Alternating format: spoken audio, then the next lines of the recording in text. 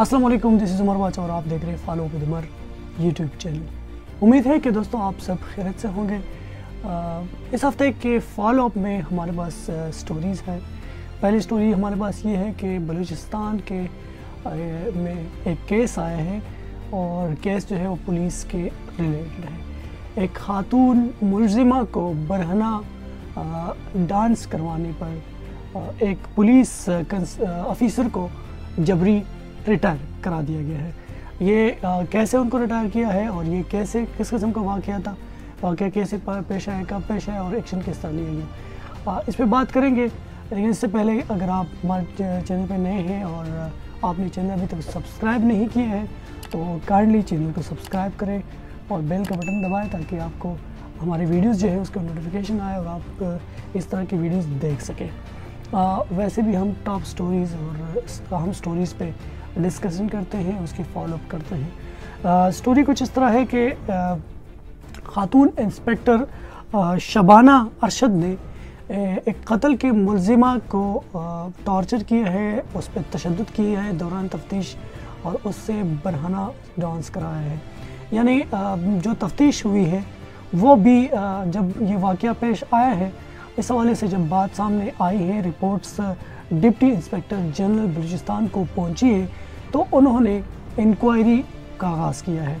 Inquiry भी जो है वो एक ख़ातून पुलिस अफसर के सरबराही में स्टार्ट की है।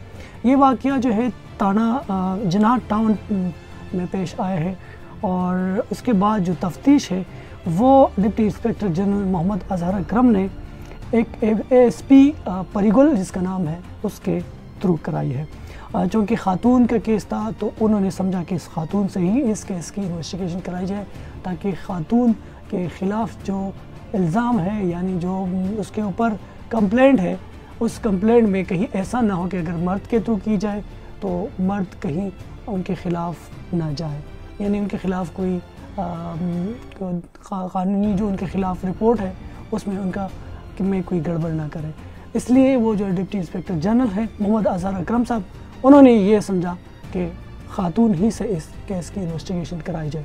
तो उन्होंने फिर एएसपी परिवल के थ्रू ये इन्वेस्टिगेशन की है। और परिवल ने जो अपनी फाइंडिंग्स जो है वो इस तफ्तीश की सबमिट की है, उसमें इंस्पेक्टर शबाना अरशद जो है वो इसमें मुलविस निकली है और जो इसके ऊपर कंप्लेंट्स थे वो सच साबित हो गए हैं।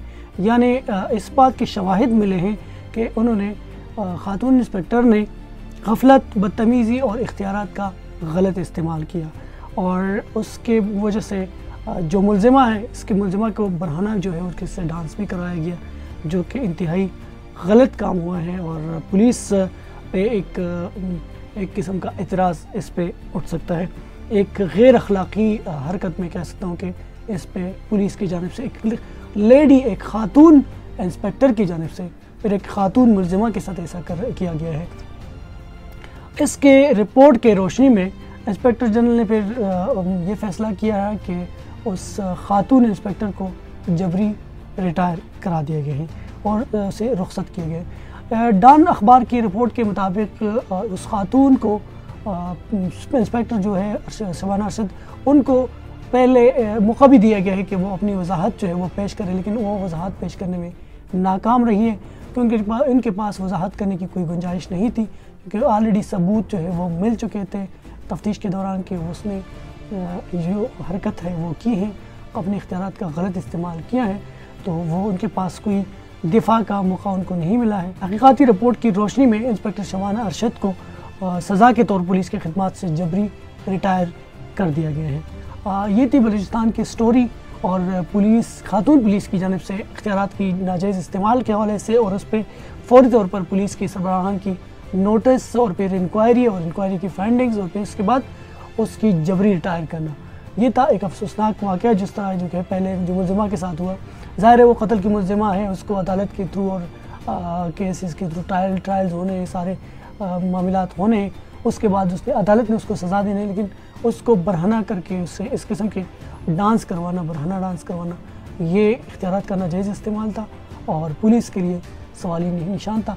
लिहाजा बलूचिस्तान पुलिस ने अपनी इज़्ज़त बचाने के लिए एक अच्छा इकदाम किया है कि उनको जबरी रिटायर कर दिया गया है। फॉलोअप से उमर बाचा को दीजिए इजाज़त। अल्लाह हाफ़